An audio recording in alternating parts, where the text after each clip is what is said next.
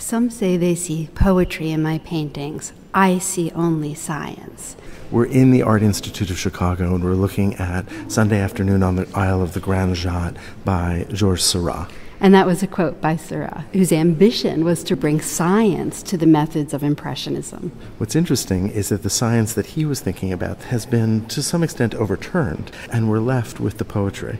The science that he was referring to had to do with ways of making the painting seem more luminous, to seem brighter. And I have to say, he's really succeeded. This is a painting that is brilliantly luminous and incredibly complex when it comes to color. So he's taking the earlier traditions of the Impressionists and he's imposing on them the science of vision and especially the science of color that had been developed by people like Chevreul and Rood. He was interested in this idea of dividing color into its components. That is, instead of trying to find the perfect purple, purple, which is really hard to do. You mean when you mix it on your palette? Well, that's right. And the reason is that when you take say, a blue and a red, and you mix them together, that red is not pure red. It's got lots of other things in it. The blue is not pure, and when you mix them together, it gets too muddy. So, how do you get a pure purple that you might see in nature?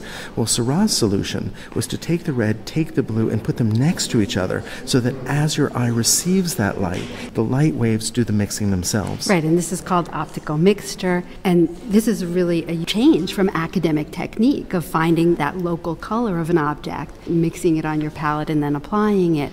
And if you think back to the Impressionist project, that what the Impressionists sought after was to really create a sense of outdoor light. And I think using this divisionist method, this idea of optical mixture, Seurat really did that in the Grande Jatte.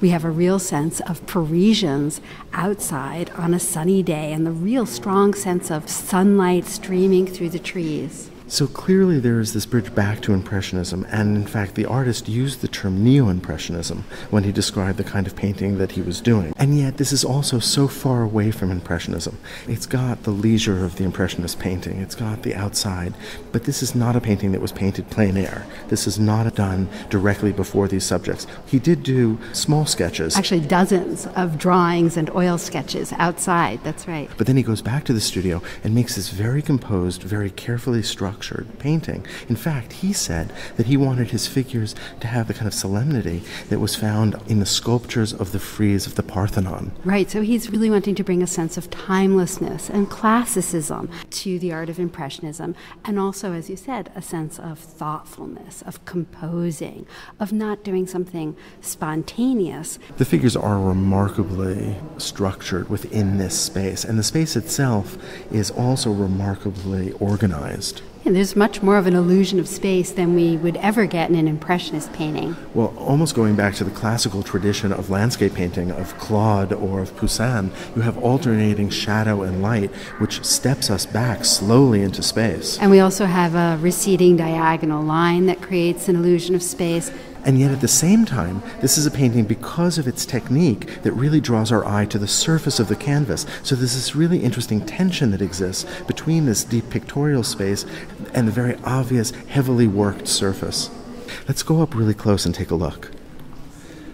So I'm looking at the lower left corner of the painting, and I'm looking at the man who's smoking a pipe, leaning on his back. Take a close look at the way that his body is defined. You can see some of the earlier painting. I see blues, I see reds, and I see yellows, all fairly long strokes, but then I also see, painted over that, little points of color, of pinks and of blues as well, that Seurat actually added a bit later. And you can see that, especially in the shadows and the highlights at the top and the bottom, where Seurat, in a sense, creates a kind of volume. And as we're looking at all of these different brushstrokes that are layered one on the other, I'm also noticing how the figure has really clear contours, which is something that we don't see in Impressionism. So we have a sense of line here and a form defined by line and even modeling, so the figure really seems three dimensional. So we know that we're in the northwest of Paris, in a place that was frequented by the middle and upper classes for leisure. We know that the other side of the river was frequented more by working class figures. And so there's this question of what Seurat is saying about class and Paris in the 19th century. And here, art historians really disagree. And it's in part because there's a lot of ambiguity the ambiguity of class was an issue of his moment, of his time. Class was enormously important and it had always been in French society absolutely clear. But the cities had a way now of mixing classes, and this was a modern phenomenon. There was a way that clothing and fashion now blurred class distinctions that were more clear before.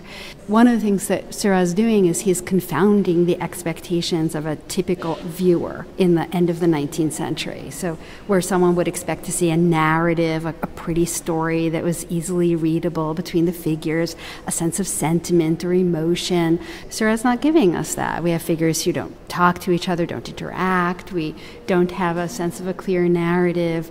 It just doesn't do what 19th century viewers wanted paintings to do. And so this painting was a challenge not only for that typical viewer that you spoke of, but for the art community as well. When this painting was first exhibited in 1886, it caused a real stir, and artists divided into camps supporting it or detracting from it. Well, it was so different than anything anyone was doing. I mean, it exploded what the most advanced art of the time was. At that point, in 1884 to 1886, the most advanced art was an impressionist technique of open brushwork, open contours, paintings painted on site, outside, en plein air, with a sense of spontaneity, capturing outdoor light. Seurat took all that and just turned it on its head and created something really serious and monumental and classical and thoughtful, and everyone had to come to terms with it.